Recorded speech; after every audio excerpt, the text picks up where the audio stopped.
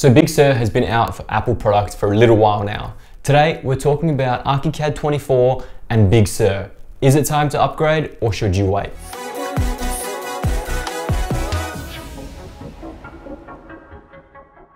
What's going on guys? My name is David Tomic and welcome back to the channel. Today, like I previously mentioned, we're talking about Big Sur and we're talking about ArchiCAD 24. To give you a point of reference, everything we're talking about today was generated on a late 2015 iMac. It was previously upgraded from Catalina to Big Sur and has been completely wiped starting fresh.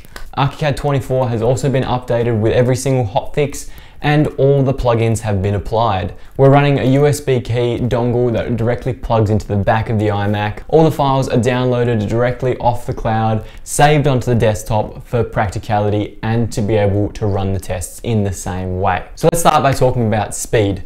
Everybody's been talking that the Big Sur has been a great performance boost for all Macs, regardless of what product you have and how old it is.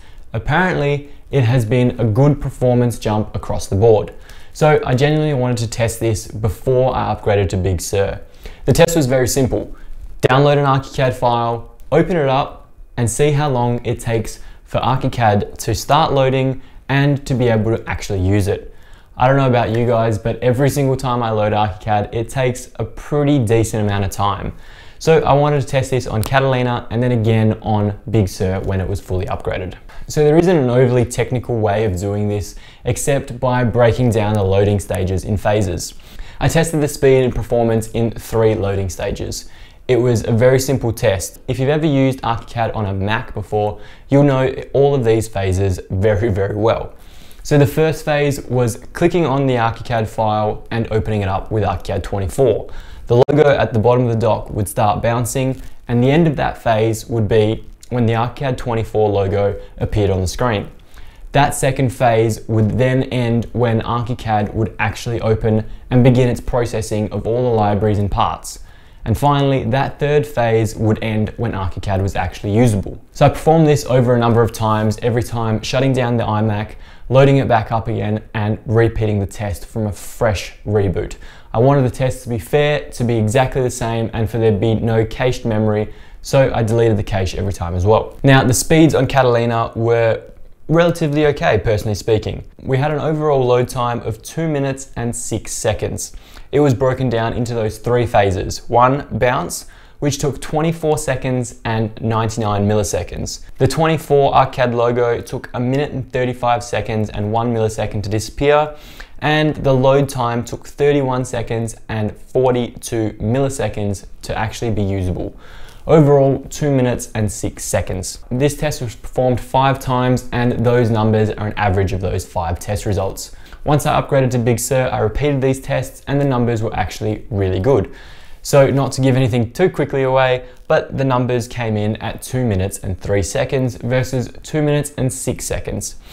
The overall performance boost isn't huge, but having just that small comparison there is enough. To break it down further, if you're interested where those performance changes occurred, it took 21 seconds and 77 milliseconds for the bounce to stop. It took a minute and seven seconds and 94 milliseconds for the 24 logo to disappear, and then an additional 33.67 seconds for ArchiCAD to be usable.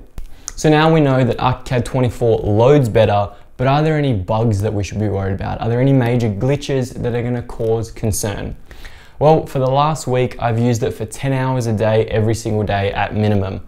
Two of those days, I used it for 14 hours a day, and without having to jump to the end of the video, there was no major issues. There were a couple issues that I will talk about in a second, but overall, there was no major crashes, there was no major stalls, it was not a problem whatsoever. So if you're looking to upgrade to Big Sur, then there's actually no genuine reason to wait. From my experience of working on ArchiCAD 24 with Big Sur for the last week, there has been no major issues that have caused me to regret my decision. However, like I said a minute ago, there are a couple small minor bugs that you notice here and there. First of all, the graphics are a little bit all over the shop and they're not uniform whatsoever. Big Sur has implemented that iPad style graphics and is really pushing that through in the Macs. When you load up ArchiCAD 24 and use any native ArchiCAD elements, you get those new iPad style graphics. However, when you use some plugins that aren't native to ArchiCAD, you're gonna see some graphical discrepancies. The main ones are very obvious and they're not a big deal. You can really work around them. When using a random plugin, for me, it was 4D Library.